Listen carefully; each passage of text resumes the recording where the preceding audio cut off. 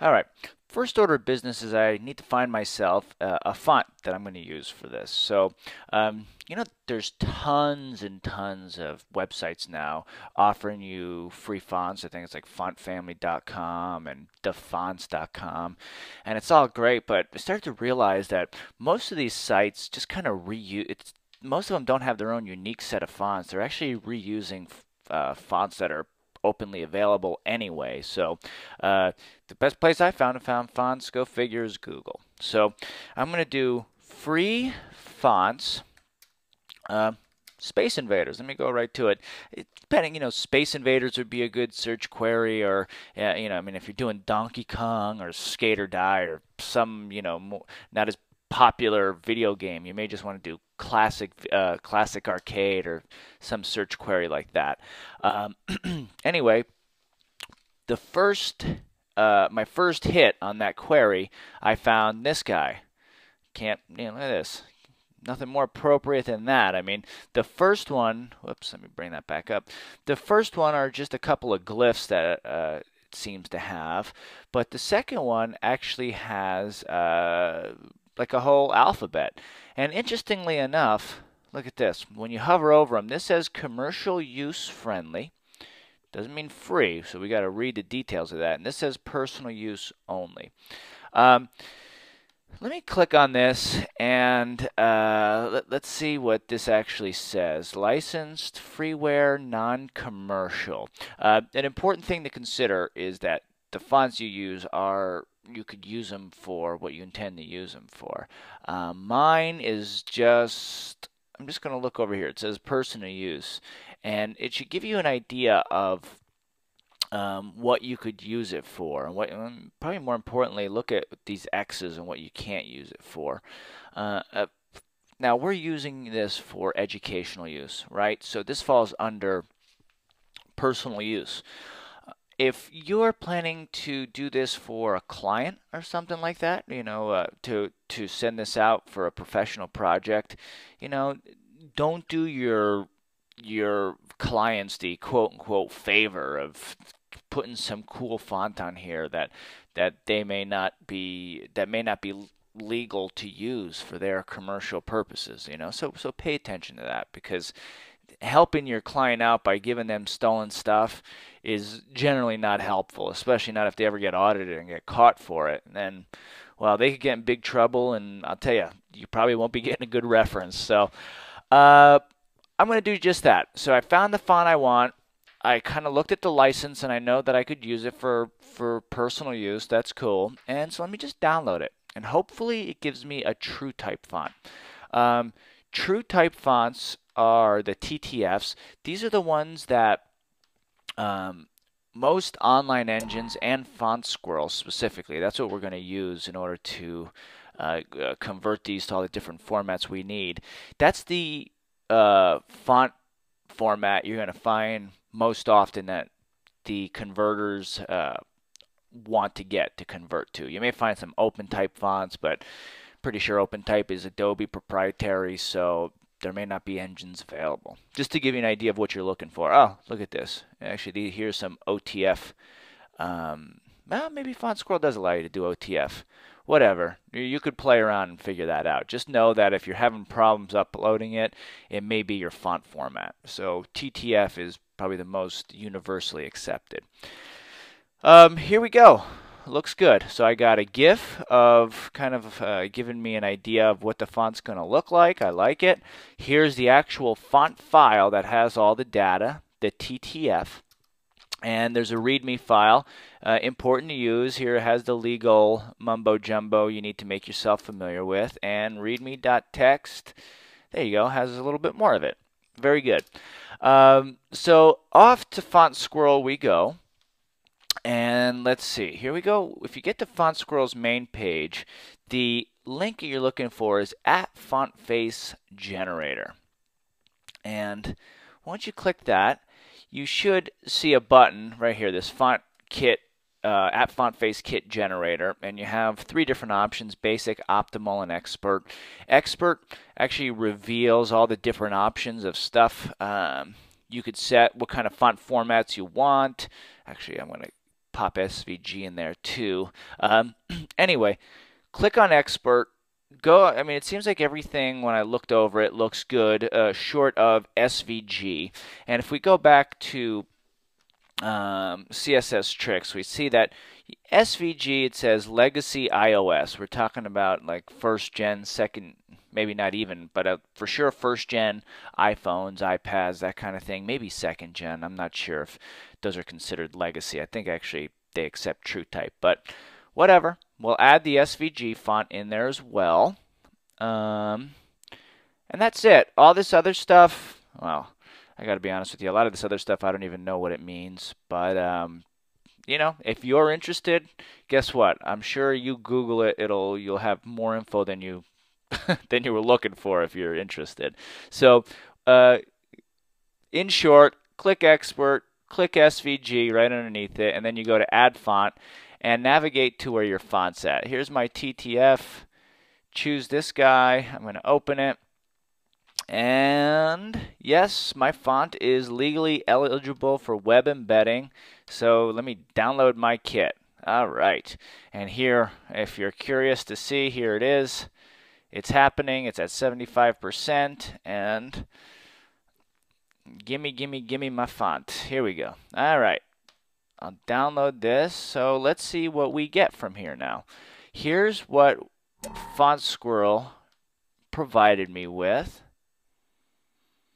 And let's look in here. Actually, I, I could delete the actual font that I downloaded because I should have a copy of all that right down here. Cool. Look at this. So this gave it to me in all the, the different formats that I'm looking for. Um, what am I looking for? ETO, I have it. SVG, I have the other uh, TTF, the WOFF, which is the, the web um, font. And yeah, I have some CSS over here. I'm not even sure what this is telling me. But, and I have, what is this? The demo, which is probably the most useful. Let's go and pop the demo in here. And this is going to show us straight up how to use it, right? Um, let me make sure that this is not an image. Okay, look at that. These are actual fonts. And here's what it looks like. You see, what I was saying about uh, legibility is that I don't want my paragraph text to be set up in this font. This is barely legible. I mean, it's cool for my header like this. It gets the point across. I was going to say Space Invaders, but uh, yeah. Anyway, it says installing web fonts.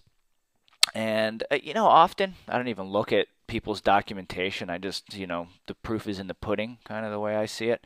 And I look at how people defined it. Um, but in this case, actually, uh, Font Squirrel does a pretty good job of telling you what you need to do.